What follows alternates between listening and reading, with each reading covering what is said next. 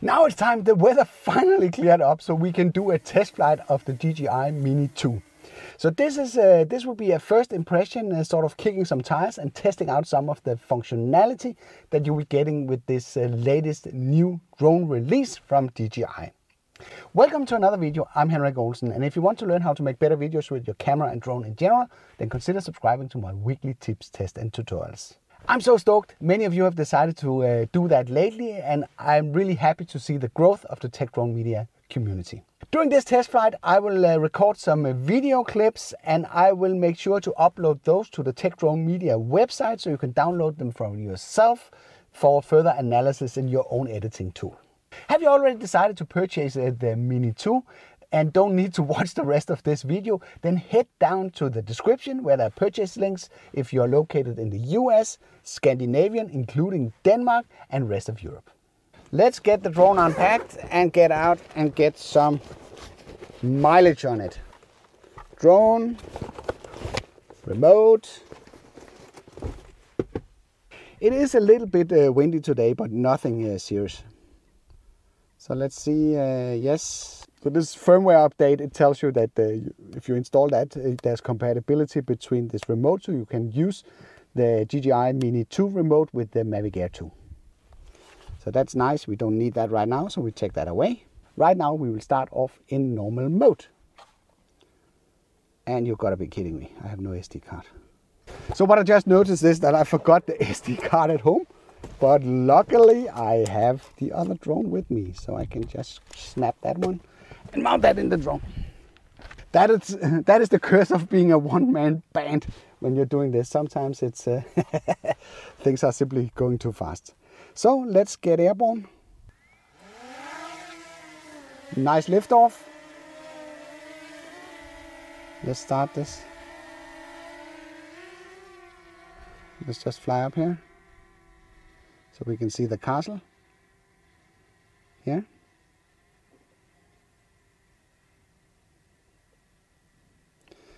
And we are just going up so we have clearance to the castle something like that is a little bit hazy today. But the first thing that I want to demonstrate is the zoom functionality. You see there's a 1x here in the back. So if I do like that, I can do 2x. I can do 1x, I can do 2x. And right now we are recording in 1080, uh, not in 1080p, in 4K. So let's just stop this uh, recording. Go into the menu here and uh, switch it down to 1080p. We can do, uh, we don't need to do uh, 60 FPS right now. Just like this. And then you can see what happens if I start the recording here. I have one time zoom, two times zoom. Let's just put this one up here. Like this. And we have four times zoom. Look at that. Look how much zoom that you can do. I'm really sorry that it's a bit hazy, but you get the point. So, And let's repeat the process. Look here. So 1x. So now it's magnified by a factor 2. If I press one more, it's magnified by a factor 4. This is a tremendous amount of zoom that you're getting with this drone. And you know what? I'm gonna show you a little tip. If you long press this icon here, you can actually, you can gradually zoom. Look at this. It's kind of cool to get access to this kind of functionality in an entry-level drone. I know that uh, the four times zoom is not uh, real. Two of them are lossless and the other two magnifications are lossy. So there might be a, a degradation of uh, the footage. Let's just do one where we actually record. So you can download it and see for yourself. So this is times one, this is times two, and this is times four. And we can do one here, where we just do the gradual zooming. Like that. Then let's just repeat the test with the zoom. So that's one time zoom, two times zoom, and four times zoom. What do you think about the zoom capabilities? That's cool, isn't it? Let me know in the comment below. And as I said, I will put these clips up so you can download them on the Tech Drone Media website. Link will be included in the description below. So that was the zoom function. Okay, let's uh, try the function button here. So now it's set up so it's a double tap. See that the, the gimbal goes up and down. You can do it the other way around if you prefer that. You can also switch it into the map view here. So In this way, you can, by single tap, you can switch between the map and the camera view. That's also a really nice and handy feature. Let's uh, do some reference recordings uh, from the different, uh, let's just choose another subject where that's not as hazy as this one. So let's just select the area down here, use that as a guinea pig for this. I'm sorry it's not sunny so I can show you some of the nice. So let's start by doing 4K 30 FPS and we are doing 5 seconds clip of that.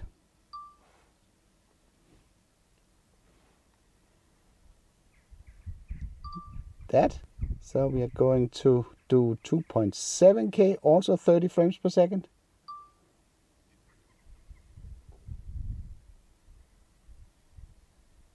like that. And then we are doing 1080p, also 30 frames per second. That would give you three identical frame rate clips to uh, compare. Like that. Do one for the sake of it in 60 FPS. We know the, the famous slow motion test. So we're doing that by going down to 1080p and 60 FPS.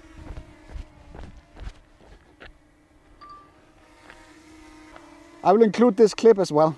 Those are the, the three uh, video modes or the three video resolutions, the 4K, 2.7K and uh, 1080p. Let's jump into photo and see what we can do here.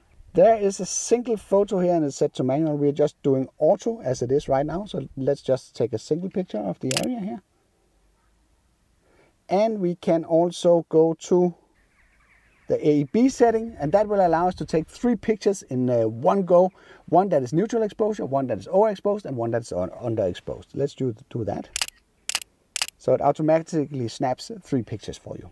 And uh, I just want to make sure that uh, the setting is correct. It says to JPEG and RAW. That is what we need because that will give us a lot more options in post. I need to check another thing. It's 4.3 which is the preferred format that I use because the 69 is a cropped in version of uh, the 4.3. So that will give you the most amount of uh, options when you are playing around with this. All right, so those were the obvious uh, ones. There's also the timed shots. I can do those. Maybe I can do a few of those. Let's just do five second. So what happens here, it takes a photo for every five second.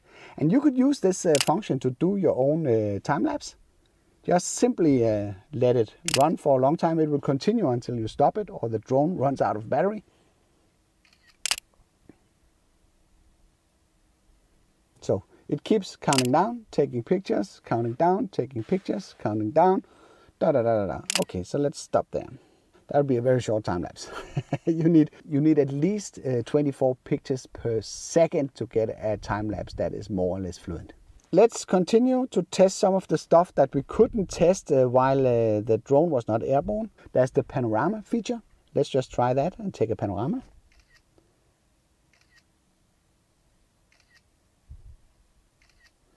So what it's doing right now, it's uh, just hanging above my car here. It will uh, basically do a 360 panorama this is something that we normally uh, used to do with uh, third-party apps like Litchi. That they were offering uh, that functionality, and uh, if you currently own the Mini One, that's still an option. And uh, I made a video about this, and in case that you missed that, I will uh, link it up here so you can see how you can do 360 panoramas with your Mini One. But right now, you're getting it natively supported in the DJI Fly app, so that is a pretty nice.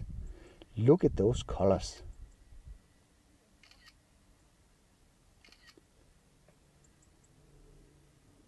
So that was the 360 panorama. Maybe we can see it in here somewhere. It's working on it. See, there's a panorama picture. so that is the first uh, panorama picture that I've seen rendered inside the app. So that's a pretty nice uh, feature. So let's get back here and test some of the other stuff we have here. We also have a 180 degree panorama. Let's do that.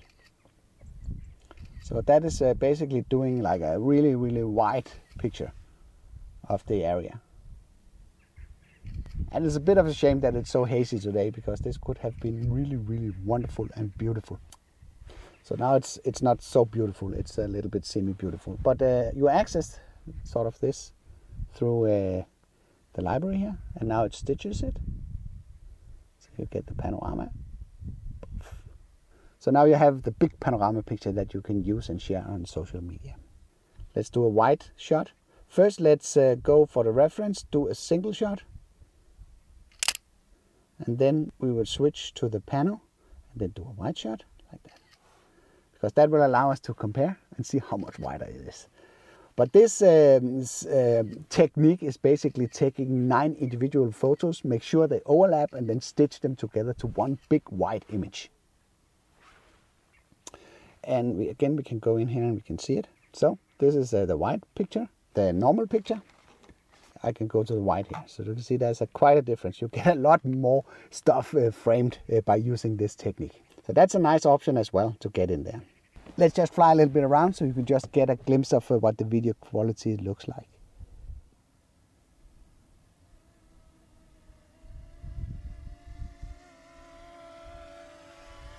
So what we can do now is uh, we can do a simple uh, thing. We can switch it into cine mode and we will try sports mode afterward.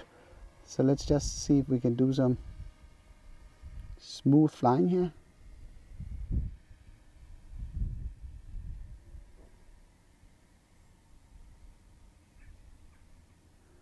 And so far we are doing pretty well. I don't want to go near those houses over there. So what you can see from this this is a pretty capable drone. So the 4K footage looks absolutely good. What do you think? The files are getting way too big if I do something like this. So let's just do a reference clip here where we fly this direction. So you get like a 10 seconds uh, 4K clip that you can study in your own uh, editing software. Ah, it was 15 seconds. you will get them raw and unedited, so there's uh, absolutely no problem in, uh, in doing this. So let's switch it into sport mode and see what, how zippy it actually is. It's always more fun to test sport mode when we're flying close to the ground. So let's see, uh, make sure to clear the area here. Nobody's around. So punch it, Bishop.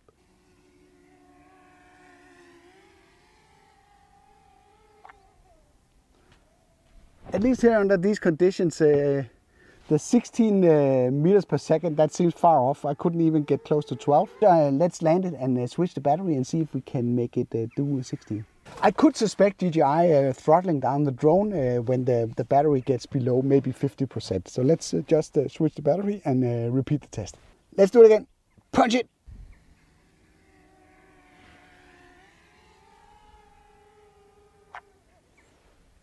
Can't get it above 12. So, so I guess the maximum speed right now is uh, at least, I don't know what I'm doing wrong.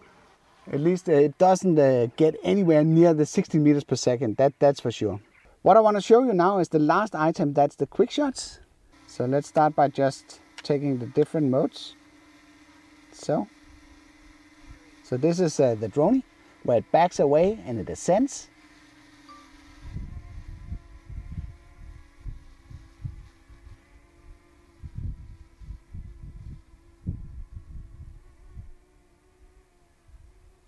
That was a strange drone.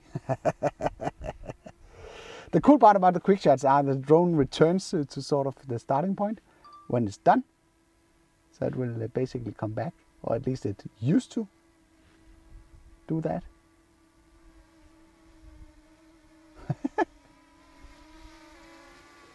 yeah, it comes back. Time timed out. Yeah, yeah, yeah, that's fine. So let's try rocket.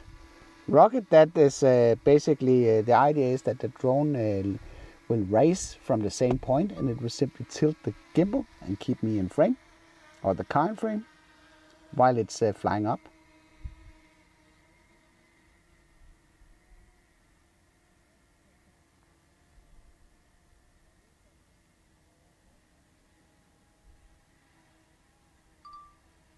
The next in line is the circle that's basically just a circle and that way it will just circle around uh, sort of a point of interest.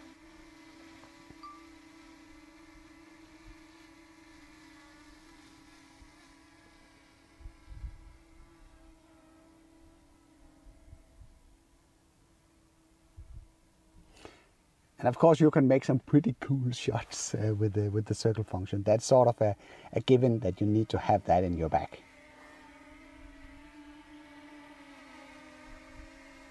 So it's doing a 360 around the car here. And you can uh, switch the direction that you want the drone to go in uh, by, by pressing these arrows. So we have the helix. The helix is uh, simply it's the same basically. It's just it increases the radius uh, to the subject. So you can see when it turns around, it will uh, basically move away from the car or from the point of interest. So that also creates some uh, really cool effect.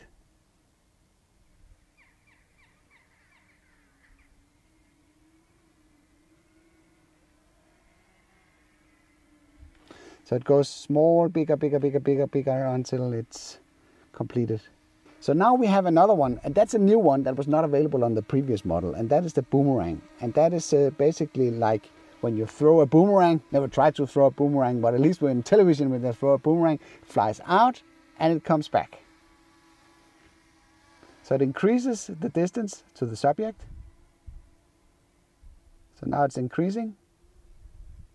It's going away, going away, going away, going away, going away. And now the boomerang starts to return. Da da da da da da da da da da da da.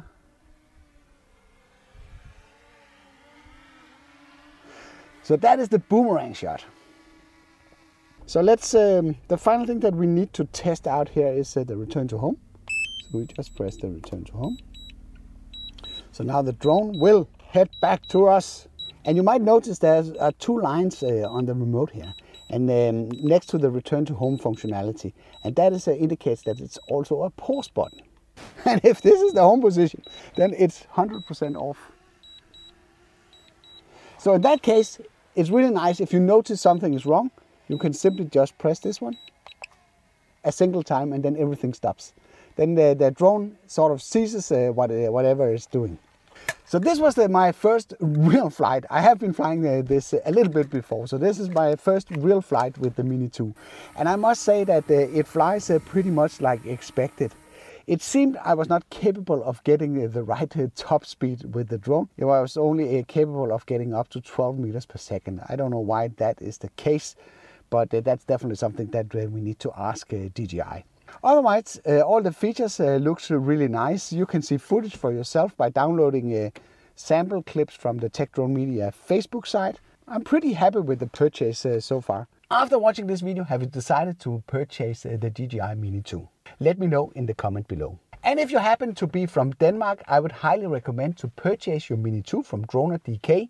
They are such awesome guys and always up for a chat if you stop by their shop in Copenhagen. They also have a workshop that can help you with almost any problem that you will encounter with your drone. You should definitely go to the description below and check them out. Right now you got a short glimpse into the DJI Fly app. If you want a complete tutorial about all the features uh, that are available for the Mini 2, then I made a video about this and you can access this through this card. I hope you liked this video. If you did, then feel free to give it a like. If you didn't like it, feel free to press the dislike button twice. Thank you for watching and I'll be seeing you in the next one.